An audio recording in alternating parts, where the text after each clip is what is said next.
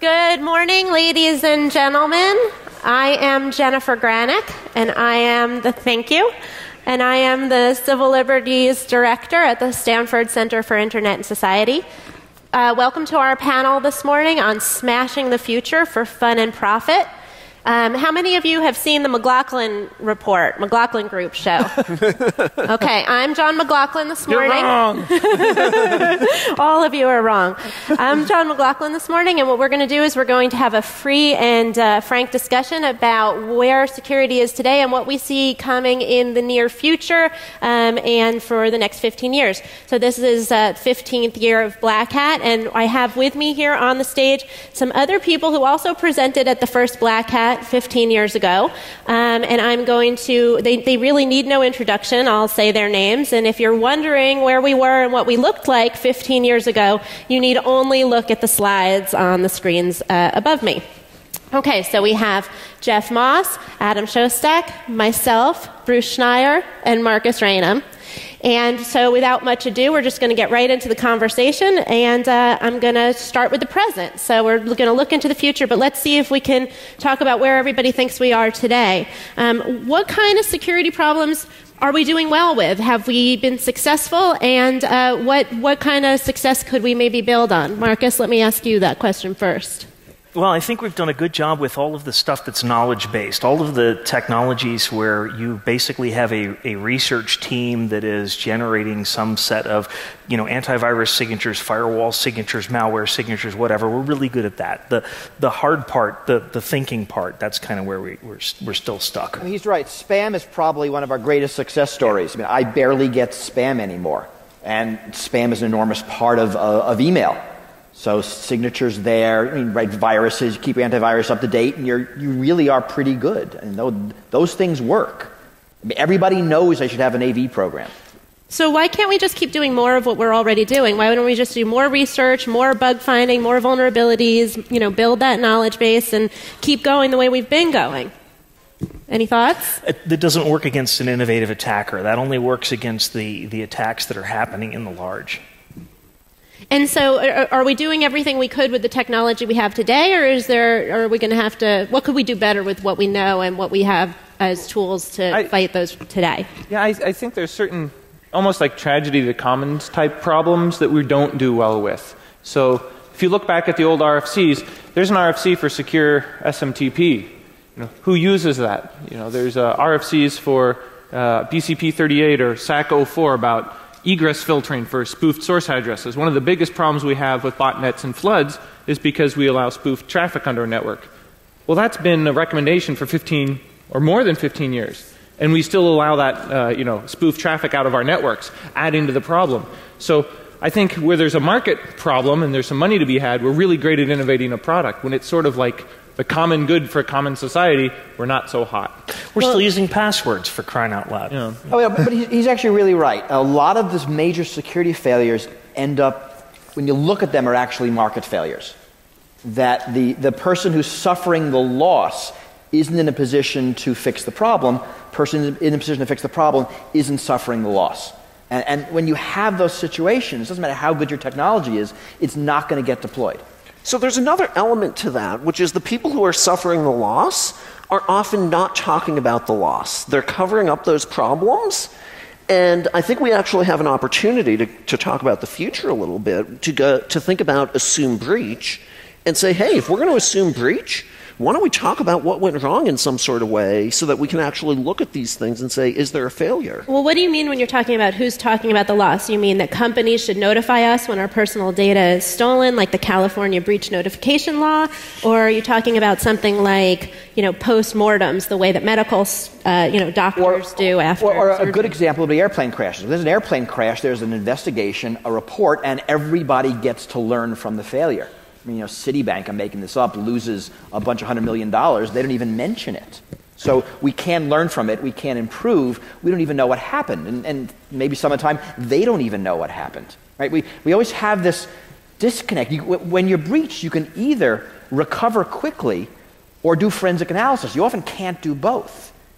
And companies very often, they, they want to recover. They want to get back in business. And what happened and can we learn from it and can the industry get better is really a secondary concern. Well, you know, also the, the reward structure and the punishment structure seems to be wrong. You know, you hear about such and such a bank got fined for, for doing something wrong. But, you know, it was my credit card information that they lost. I want the money.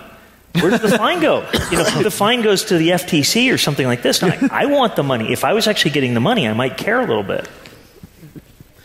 So um, I guess we should maybe be thankful then for the cloud because you know if I'm not the one who's responsible now for maintaining my network and all this stuff is going to be done sort of out there, all we need is a couple of good providers who actually take this kind of stuff seriously and it's really a service that they're going to be selling me and and so in the future maybe a lot of these problems in terms of you know implementing the knowledge that we have are, is going to be resolved. Although that's not what we're seeing, I mean, and, and I'd like that to happen. I think there is a lot of potential benefit for for going out in the cloud and potential risk risks. But right now, you talk to a cloud provider and say, you know, can I audit your systems?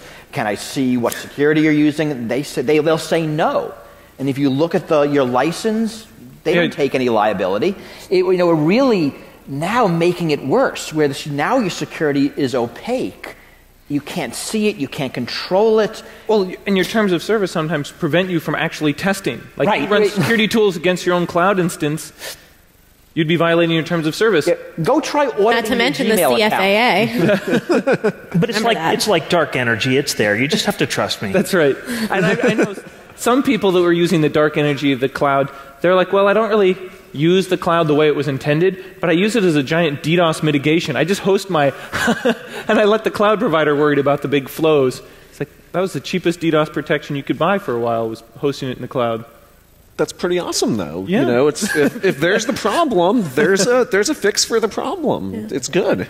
Well, when you guys say market failure, the political scientist in me says government. That's what the government's for, is to cure the market failure. So, um, what do you see as the role of the, for the government evolving here? And just to kind of give it a little background, what we've seen just in the past, you know, couple of months over the summertime is that Congress is considering a number of cybersecurity bills. There's CISPA, there's the revised cybersecurity Act. And the hallmark of these bills, there's a lot of um, stuff about the way that government will be organized in order to who's going to be in charge and that kind of thing. But there's really two main components to each of these bills that government's grappling with. One is information sharing, and the other is standards, security standards, and what to do to try to get critical infrastructure and or other kind of private networks to come up to snuff and to you know meet these standards. So um, these, this, there's a lot in there, but let's ask first of all generally about government, and then let's talk about information sharing, and then let's talk about standards. So gov- is government the solution? Market failure, government, that's what we do. You know, I, I, it's bad taste to throw rocks at the keynote speaker behind his back, but I'm going to. You know, I, I lose my especially cool. when he's with the FBI. I lose my cool when I hear people from the government or formerly from the government saying the private sector needs to step up. Excuse me, I'm not qualified to carry on counterintelligence against China or any other country. That's what we pay our taxes for. Providing for the common defense is what the government is supposed to do. If what they're saying is the private sector has to do this, they haven't done their jobs. You're fired. I'm actually, but how do you really feel? I'm actually a big fan of, of, government intervention in the right places. I mean, there's a lot of good things government do. Fixing market failures is, is a prime example. When government does well, it tends to legislate results and not methodology. For the government to say, you know, something like, you can't employ 12 year olds in the mines is a perfectly reasonable government standard. I mean, they're not going to tell mine workers how they should work, but they you can't do this. For government to say to, I don't know, chemical plants, I'm making this up again, you have to have this level of security, as long as they don't say how to do it, the market will step in and figure out how. Right? The government said in 1976 to credit card companies, you know, it doesn't matter what kind of, what, what the uh, cardholders do, if they lose a credit card, their maximum liability is $50. Right? And then the market stepped in and invented all of this great credit card security you know, that does a lot of good to protect, right? but it does. It does a well, lot no, of good to protect I think you just shot company. yourself in the foot there. No, no, no the system no, works. Right, but uh, when was the last work. time you lost a lot of money because would, your credit card was stolen? I would much prefer our model than the Japanese model where you're 100% liable for all losses. That, I like $50. Right, because we are not, I mean, I am not in a position to go into Visa's computers and secure my credit card number. Visa is. So they need the liability. So the government regulation that shifts liability from me to the credit card companies, they can make the decision whether it's cheaper to accept the loss or, or, or secure. That's good. That's what government's for. Government does that well. And he's right. Government needs to step in and do the national security stuff. So on the one of the last bills that didn't make it, there was a big section on on, information sharing. I don't know if I'm jumping forward here, but but the forward if you look at what like the market forces are there, or, uh, companies are already organizing trust groups, I would call them, uh, or private information sharing exchanges to share vulnerabilities. And, and like the sort of government sponsored model would be like the FSI are those, are those working? I mean, the FS-ISAC is the best of them all. But the financial one, right? right the, right. Others, the others aren't, but there are, there are private trust groups that are very effective and so what they're trying to do is almost codify that by saying, well, but if it's government sponsored or government approved or there's somebody from the government involved, you get a little bit of a liability shield. Well, as soon as you start becoming prescriptive like that, that's when I start worrying because I, mm-hmm. then does that mean you devalue the information in these existing information exchanges because now, well, I don't have the liability unless I go into this formal one that's recognized by this legislation. So therefore, everybody else is, you know, the redheaded stepchild and then now, since it's government approved and there's the government person in there, so the information flows to the government, our conversation will change now. Because right. now I know Uncle Sam's in the room. So the other ones are less valuable. Uncle Sam's in the room, and it changes the nature of the debate. And so I think the intention is good, liability shield, but in the end, I'm worried about the outcome. I think, and also in the way, I'm sorry, in the way that they tr- are trying to effectuate some of this information sharing, some of the, the carrots to draw people in are not healthy for the They're like network dongs, as whole. They're right? like, yeah, it looks like a carrot, but it's an orange ding dong. It's going to make us all sick. it's like, okay, well, the, you know, the information that you get is going to be exempt from FOIA, so other people in the public can't have hold of it. Um, you're going to be immune from liability. When Bruce has just explained why, in some cases, liability is a great incentive to do uh, stuff correctly. And you know, we have anecdotal stories from people who represent companies saying that sometimes the government comes in and says, "We know your network's been breached." Breached, and we'll tell you all about it, but we're going to need your cooperation in doing the investigation. Here's my shiny little ba- black box. Can I put this on your network? And then who knows what happens? And then who knows what happens? And I mean, that is a violation of the law, but you know, that, so so we really need to be looking at if we're going to do information sharing, we really need to look at the incentives for information sharing that's public information sharing, where the information is out there. So I know if I'm safe. You know, the people who need to do the remediation know what the situation is, and we all have access to this state of the art technology. And I don't see that happening with these information sharing so proposals. I like to talk about information publication, and I like to think about more than just vulnerabilities. You know, we're talking about how do we share this vulnerability data, but there's all sorts of other information that's useful about what is the operations of, say, this government system versus that government system. And we have these opportunities every time a government system is breached the information is reported to US CERT within an hour. That information is analyzed by the General Accountability Office. They do good work. If we had a little bit more information in those flows, we could actually look and say, hey, you know, this, this department is experiencing this sort of problem, and they spend their budget like this. These other folks who are spending their budget differently are not experiencing this problem. We're about this close to getting there. Well, you know, you, you make a really good point because information sharing, in, in order to get information from people, you have to give information. Mm-hmm. That's how you establish the credibility that you can go to somebody and say, hey, give me your net flows, right? I mean, I, I would give Bruce my net flows because I've known him for a long time, but, but that's because I've gotten valuable information from him in return. And what we're seeing from the government is we're seeing an insistence on, we want your information information. But yet what we get from them is, you know, well, you're, you're, you know, we found your data outside of your network, but we're going to swear you to silence so you can't talk about this. And we're going to give you some assertions that it was stolen by the Chinese with absolutely no evidence. And we're basically going to make all these evidenceless assertions. So the, the security community is flying in the dark on a trust us model, but we're being asked to provide all this information. Until that changes around, there's not going to be any progress in this uh, area at all. There's a perfect example of that. I was, uh, for DHS, we were going around uh, and having meetings in different uh, states with CISOs, CSOs on the lead up to Cybersecurity Awareness Month a couple couple years ago.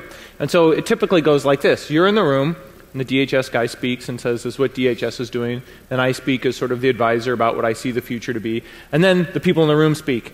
and somebody from a huge hosting provider is you know, really excited to be talking to someone. There's the DHS guy right there in his room. And he's, he's like, well, you know, we see all this activity on our you know, hosted cloud, and we see a lot of stuff flowing back to China, and we see some stuff going to Russia, and we get all these fingerprints, and wow, we've got all this data, and I bet that would be great for you. And, yeah, yeah, that'd be great. That'd be great. Great. And I bet you guys are seeing a lot of stuff happening in the government, and you probably know all this stuff that's happening, right?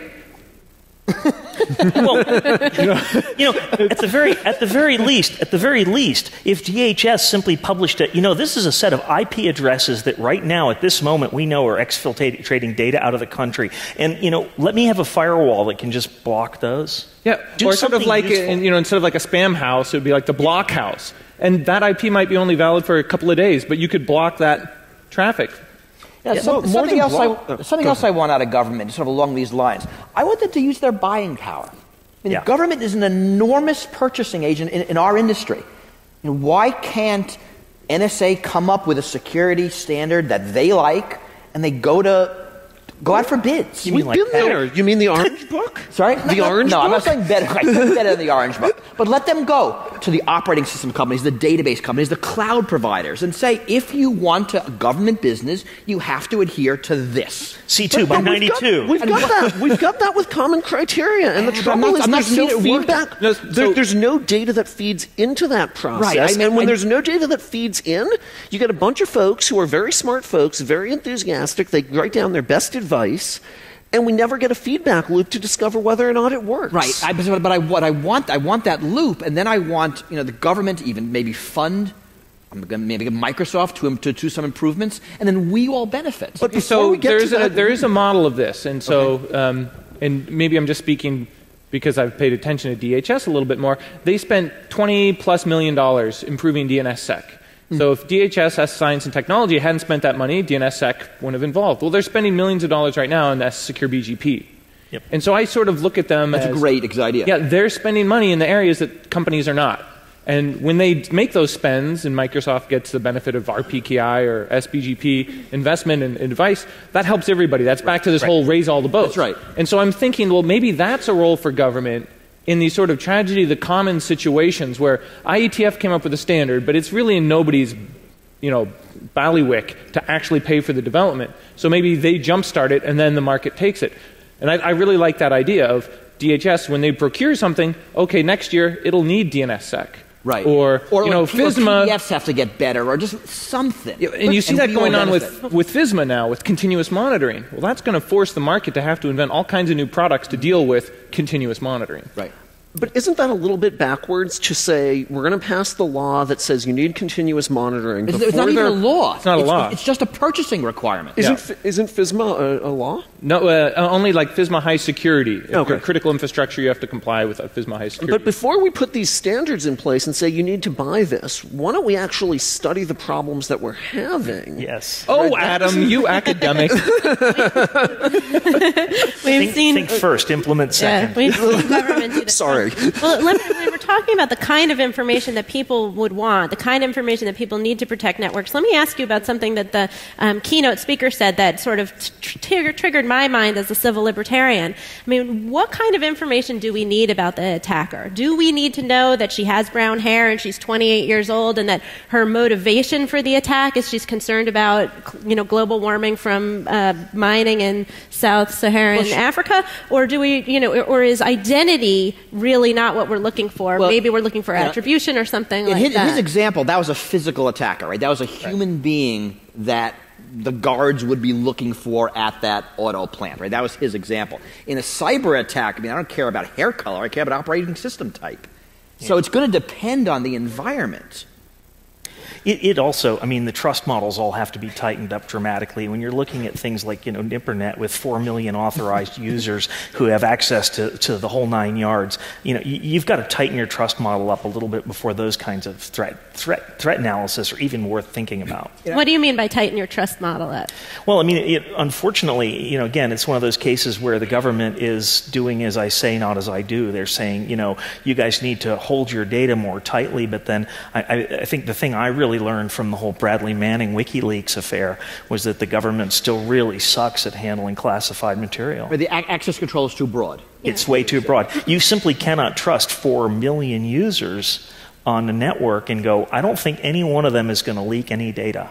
And- Well, but let's keep in mind too, we're talking about different types of networks here too, because again, you know, for, for certain kinds of networks, for certain kinds of businesses, that works. But we also have to remember that this is an open society, and the thing we all love about the internet, I think we all love about the internet, is the internet is open and that it's allowed humanity to do stuff that's really awesome, that's never been done before, and we want to take that openness. That's the reason why we don't check IDs and frisk everybody when we go to the shopping mall, though we do when we fly at the airport airport and, and, and keep that openness in the network. We don't want to have to have everybody be trusted. The, the FBI model is always, you know, let me see your ID and put your hands where I can see them. Right? Yeah. That, that is the way the FBI thinks. When they see a security problem, they want to identify everybody and see what they got. And that it's not always the, the way you could should do things. It's not always the best way.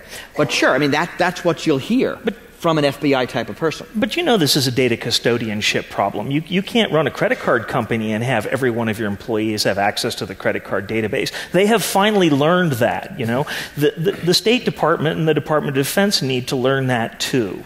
Well, well, let's remember why they opened that up to so many people. Is because of the 9 11 Commission, which said there were too many information silos and that information wasn't getting to the people who needed it. So Yeah, there's a sharing, you're doing it wrong, yeah.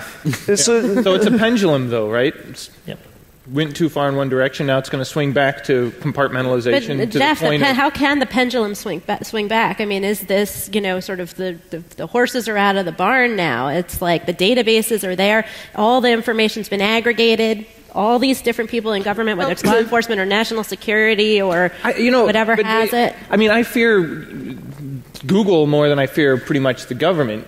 Because at least I That's I've got, just the coast you're living I've, on. I've got co- yeah I've got causes of action against, against the government. There's like decades of, of, of legal history there. Like when Google's online competent. providers, I'm contractually agreeing to give them all my data. Or, or even you're not, right? You- Yeah, There's it- no actual contract. You're just giving it to them because they have a cool name and a cool website. Well, people worse. people ask me why do you use Tor, and it's like, well, I don't really care too much about Tor. I care about my local cable provider watching my profile and injecting JavaScript ads or something. Or it's like I don't need my local provider target marketing to me, so I use Tor to get one hop away from like that the badness of my provider I'm paying money to. You think, but you think the commercial entities are scarier than the government because advertising is the wave of the future, and they're What's the only ad model, the revenue model? Yeah. And so I, I remember someone was saying that we've taken the best and brightest minds and converted them into getting better click-through rates. It's like it's like you know the innovators of our current generation are working on conversion rates. It's like that's not the best use of their time. Well, let, let's take a little poll of ourselves in the audience. Who fears Google more than the government? Okay, who fears the government more than Google? I'm the only one. Oh, there you go. Thank, thank I mean, you. you. Google has a history of getting things done. That's true.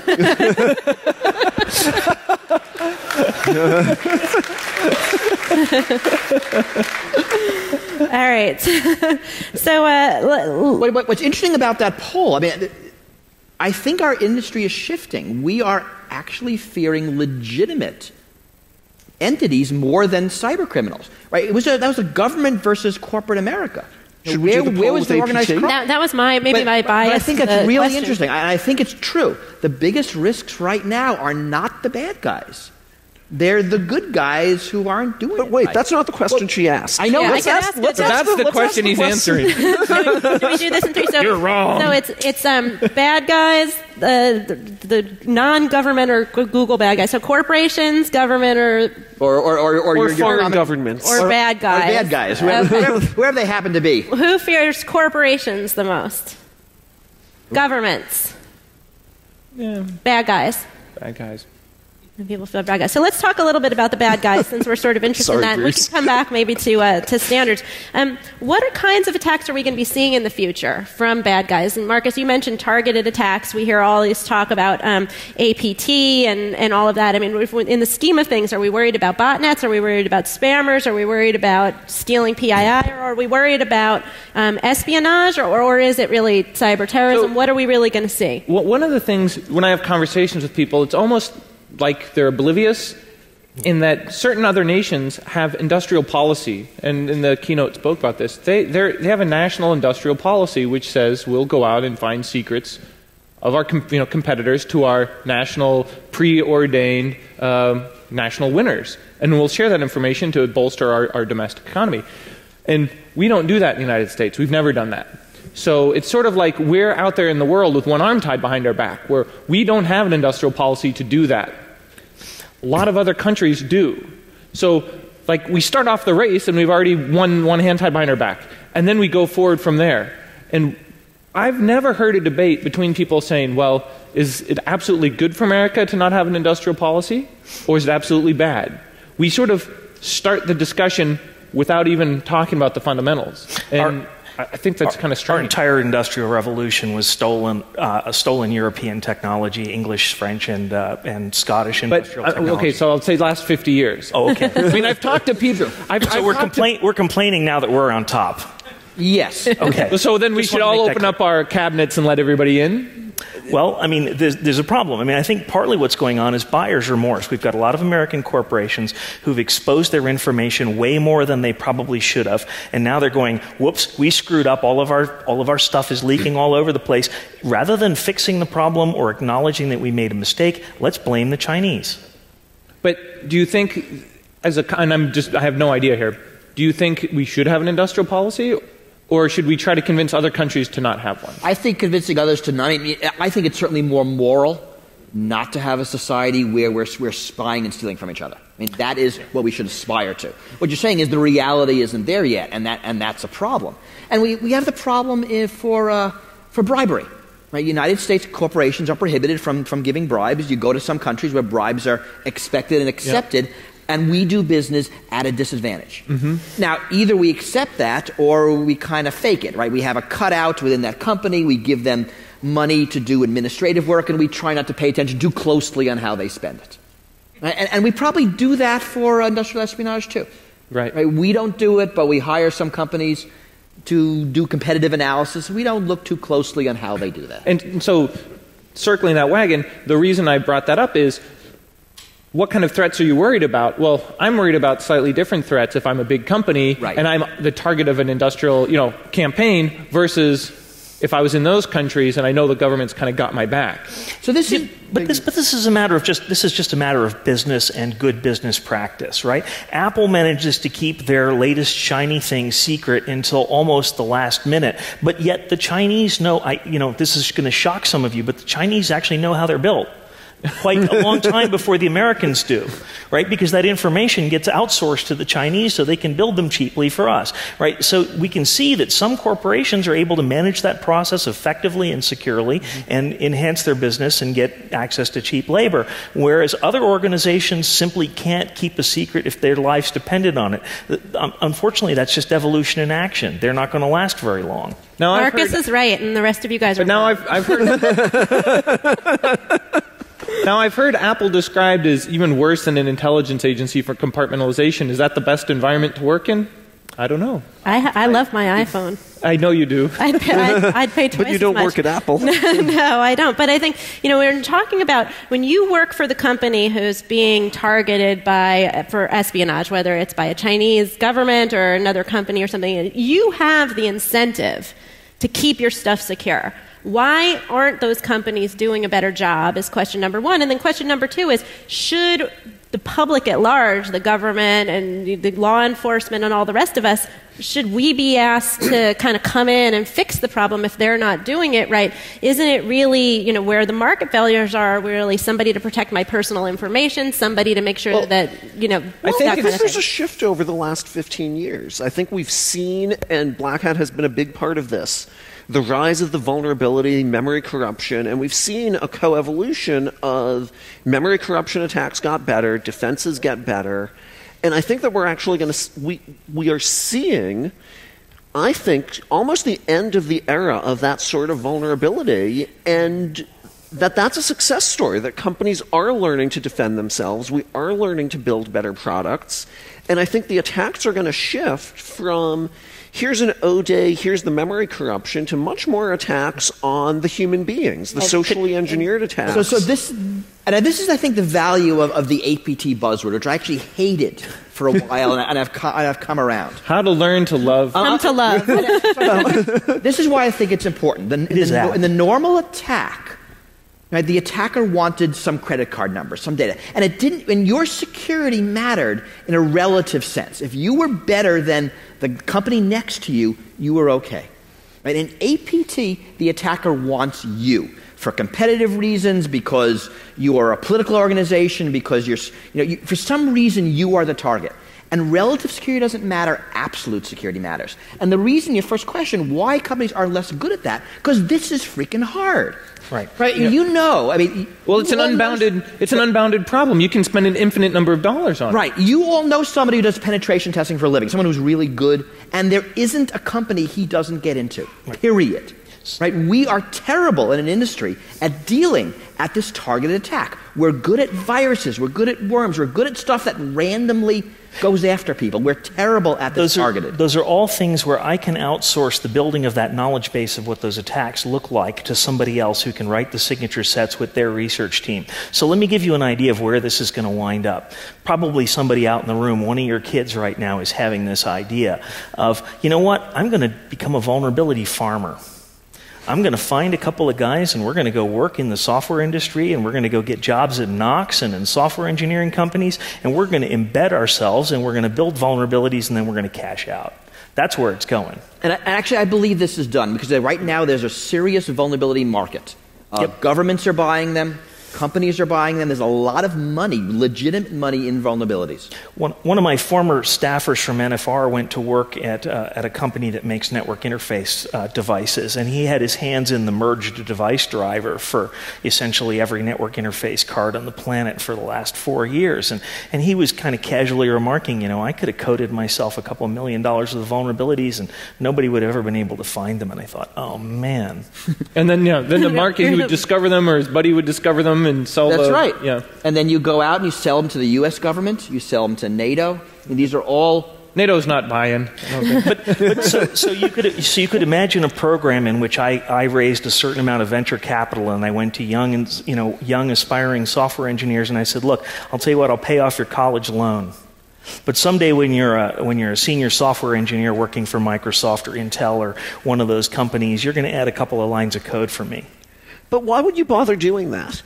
I, I'm So, so many of these companies are still not making investments in security development at all. You don't need to pay people to write these vulnerabilities. Their employers pay them to write the vulnerabilities. Free. And, and, and we, They we've write learned- themselves. We've learned to get better at getting these out of the code as it's being written. Yeah, but I mean, you're talking there. You're talking about inspired amateurs. Imagine what professionals would accomplish if they deliberately left the wrong error check off. Let me ask what else, given the sort of rise of the targeted attack and what we do well and what's the really hard problem, what other kinds of directions, what direction should Well, security professionals move in in terms of mitigating that problem, finding out what we need Well, to know? I'll, I'll, I'll say one of the other things I'm concerned about, and it's more from recent personal experience, when there was this um, anonymous had announced that they were going to attack the root servers and take down the root, and uh, I was like, okay, well, how are you going to do that? It's got to be a DOS attack.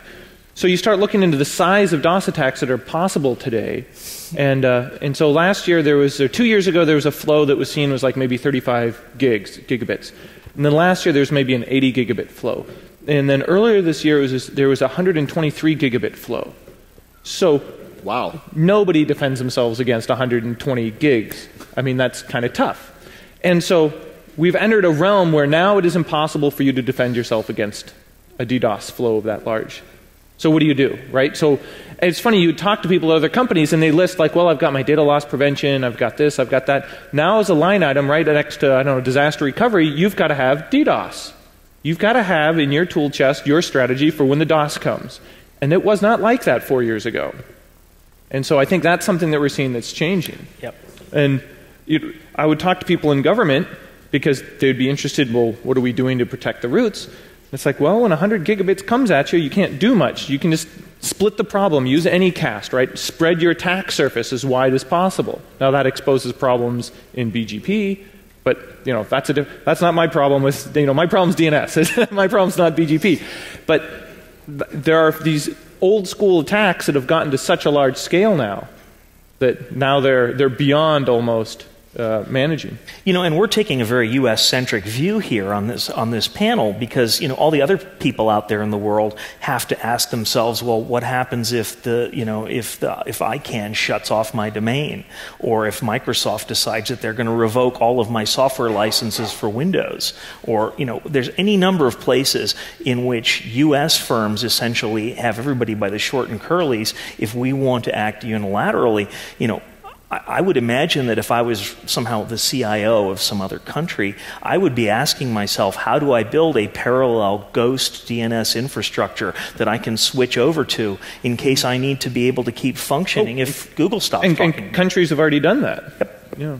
So an- another thing I think, I think we're going to see a rise of is if we're seeing a lot more of these split responsibility stuff in the cloud, different end user devices – that a lot of our defenses are going to move from the technical area into the legal and policy area.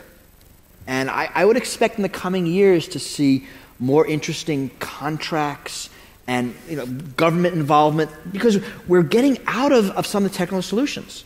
And if I'm using Dropbox, I can't affect them. I need the only way I can get security from them is through some kind of contractual agreement. And we're still really bad at that. So sad to say, I think the lawyers are coming into our field. So yeah.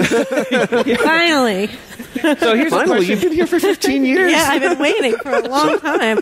But you know, you, they're, they're, you're talking about about the United States law, but there's also the pro, you know other governments oh, too, yes. and you know the idea of I'm a different country, I want my internet to be run a different way. I don't trust these U.S. based entities that control the domain name service or something like that. So I'm going to start. I don't, I don't trust sending my data across the border from the U.S. because I know the NSA is going to grab it all. they and stick it in Utah. it all. So I have my firewall, or I make my own sort of internal network, and um, you know, I, and then I press for uh, regulatory action from the UN or WIPO or one of those organizations. And well, you know, I, I want to ask Bruce a question. So remember years ago when the insurance agencies were going to save us? Insurance companies were going to gather enough actuarial data, and that was going to impose sort of some mm-hmm. market forces, and it never happened. And then, but we were saying insurance has to work because if it doesn't, that only leaves regulation.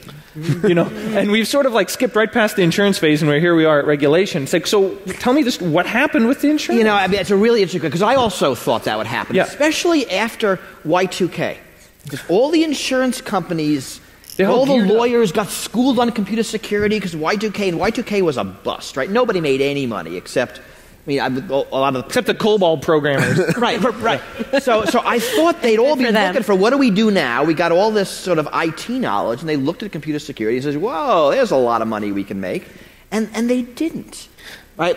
You know, there's no liability. You just like look at it from the lawyer perspective. The kind of liability we're seeing for breaches, it's like first of all, either we don't know about it, right. and when we do know about it, it's like personal information's been stolen. You look at the the lawsuits; people have trouble showing standing. the The damage is hard to even if you show standing. What the loss is is hard to show. And what's ending up happening is companies are being able to get out of these for you know a couple million dollar settlement, which for some of these businesses is, is you know yeah, chump change. And, and, and so the insurance companies could never get good action actuarial tables, right? The technology moves too fast.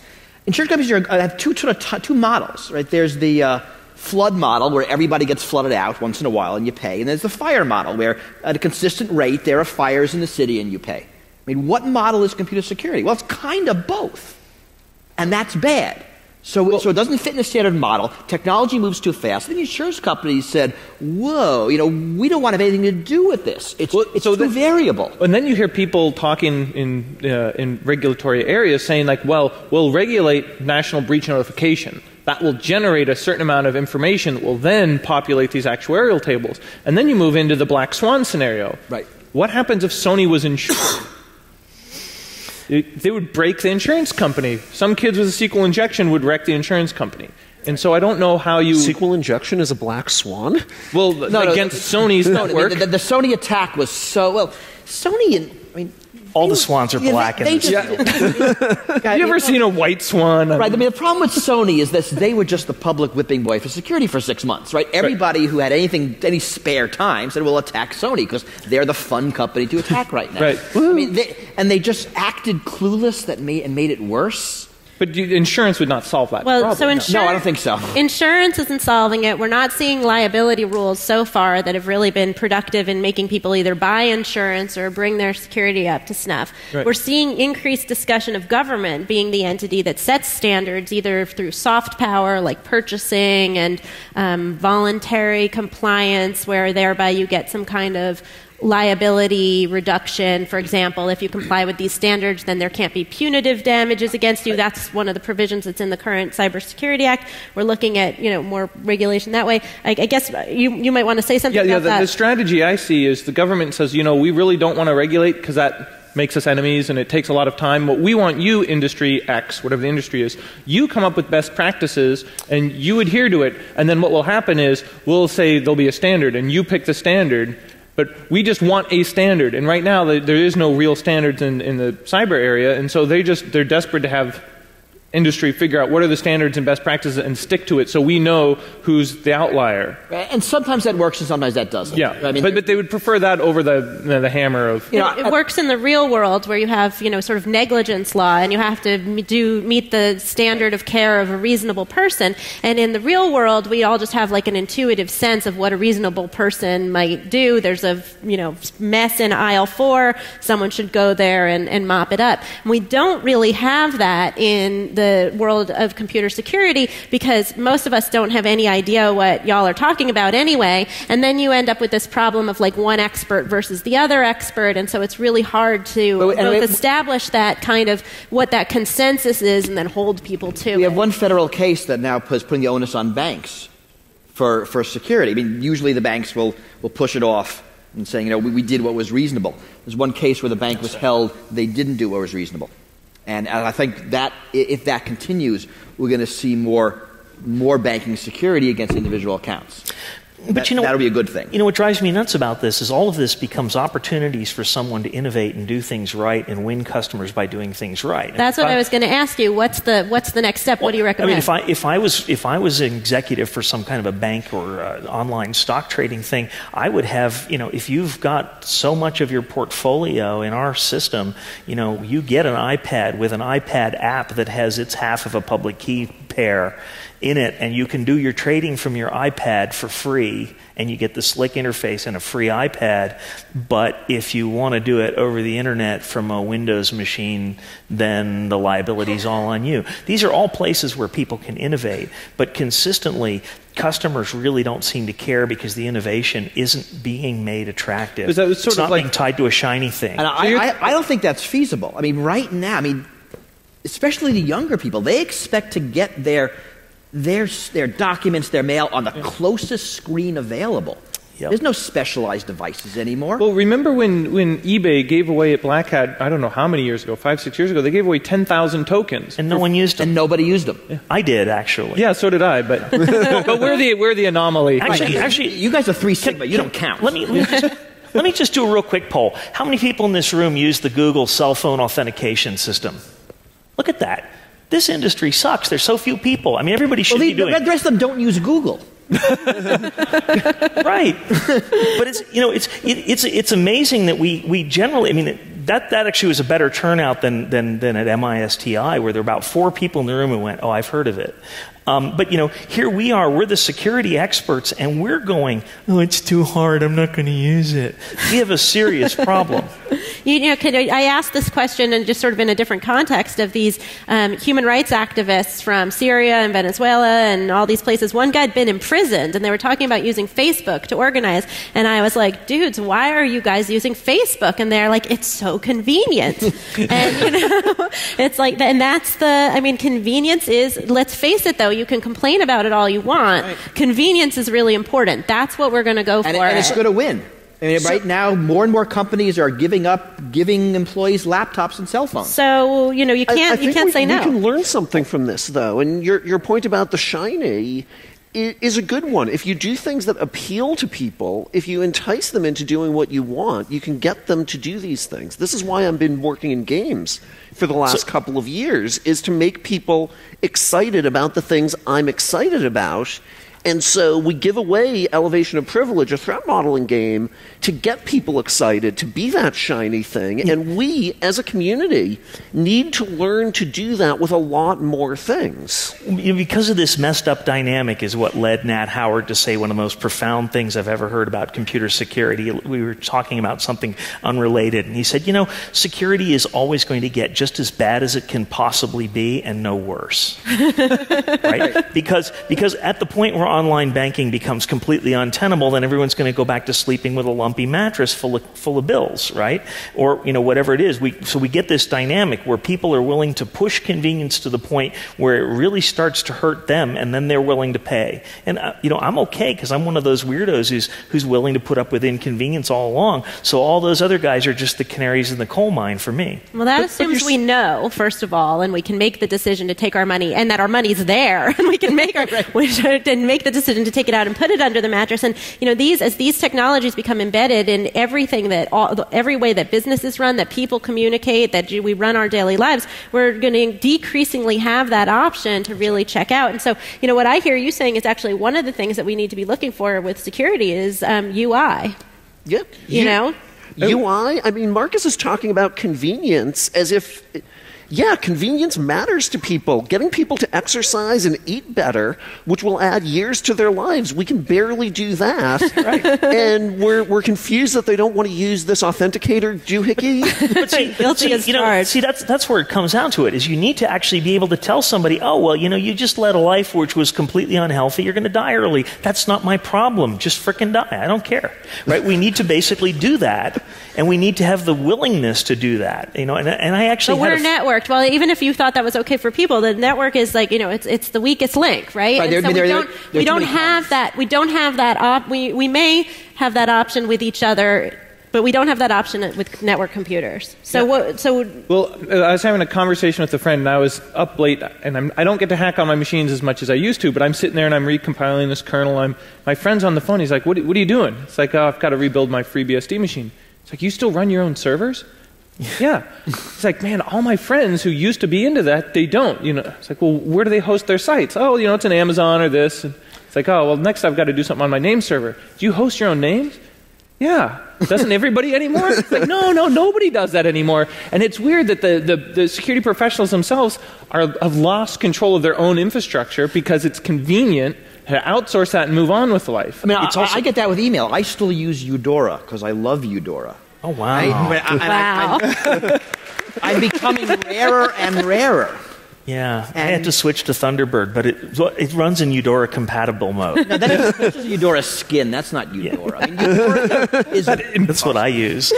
But, But, you know, but I think you what know, you're what's hap- is that these infrastructure providers have gotten reliable enough Yeah. that for all of the worries that we might have, you know, keeping a FreeBSD server in your basement is no longer something that you need to do because you can outsource the power Ah. and the Right, but so, so, and- so here we go. I don't get Fourth Amendment protection anymore. That's right. No, but you see, And- you don't. well, we're we're fighting on that. No, we're you we're don't- seeing what yeah. we can do about that. That's you not a don't need to do it, but it's a good idea to do it, right? It's the same reason why if you don't understand how your car works and you take it to the shop, they'll tell you, ha, you got a broken Framus joint and the hey diddle diddle needs to be replaced. That will be $10,000, right? and so if you get to the point where you have become so de-skilled because it's easier and cheaper to outsource knowing anything, then you just become a know-nothing and you're, you're completely vulnerable to all the people who are going to sell you aftermarket But services. most of the people on the network were, are, were they started like that, they've persisted like that, and they will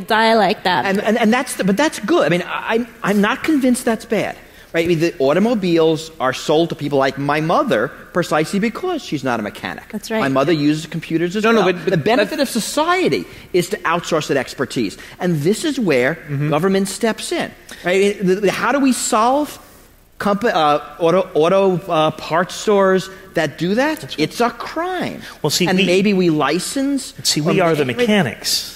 let, let, me uh, let me ask. We talked a bit about government. Let me ask. Okay, so let's have a scenario. You're the CSO. What are you going to spend your money on? What what am I buying? What am I looking for in terms Well- of security in the next you know ten years? Am I, I- is it a thing I install? Is it a service I purchase? I- what am I, I- what? How am I protecting myself? I always argue that the best money you can ever spend are on your employees.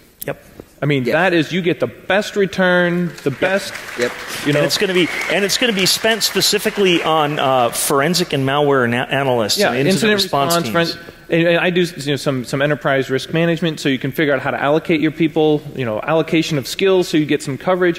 But in every situation I've been in, I rely on my people. I'm not relying on you know widget X. I can get almost every widget I need for free from the great open source community. I can't get the employees. That And also, what you're going to want is you're going to want employees who are generalists because what you're seeing with services like Amazon and all this kind of stuff is that you've got extremely specific services that solve one problem, right? Nobody's going to need to run payroll systems anymore because they can just go to ADP. But what, what, what that does is that means that your workforce, you need people who understand payroll systems in Right. large rather than in the de- at the detailed level. So you're kind of agreeing with what Adam was saying before about assume, when you were talking about getting a forensic or a response team. You're like, assume you're going to get breached. Oh, 100%, Assume that's going to happen, and have the people in place who are kind of big picture people who are there to respond. So- Is so I that- think One, it, it is. I think one investment people need to make is about configuration management and change Yes. management. Yeah. Understanding the state of your systems, keeping them up to date, knowing